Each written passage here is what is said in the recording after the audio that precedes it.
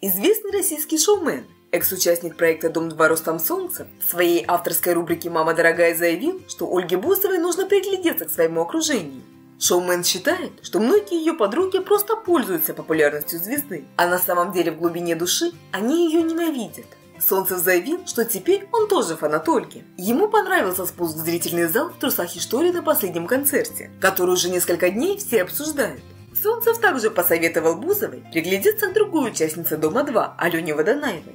На проекте девушки часто конфликтовали. А недавно в передаче «Прямой эфир» Водонаева заявила, что восхищена успехами подруги.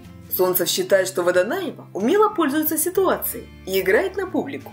Ошибка же Бузовой в том, что она не умеет выбирать людей для жизни.